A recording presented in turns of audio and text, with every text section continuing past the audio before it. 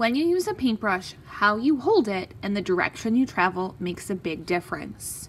You can make thin lines, thick lines, or super messy lines depending on where your hand is and where your brush goes.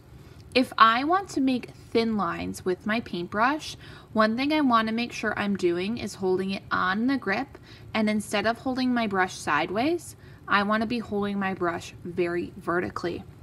Imagine your brush is a ballerina and your brush is dancing on his tippy toes, barely putting any pressure on the brush.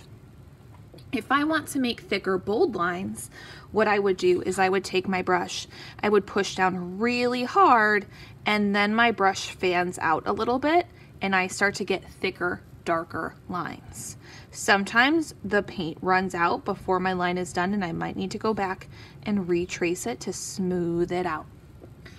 If I am not having my brush follow behind my hand, I notice sometimes people push like a shovel.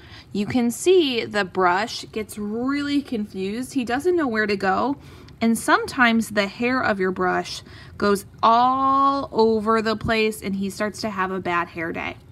If you want to be in control of your brush today, it's really important that your brush travels behind your hand and you go slow and steady to get that really nice line. If you'd like today, you can use a smaller brush for your details. If you are using a smaller brush, you still want to make sure you are controlling how much paint you put on the brush.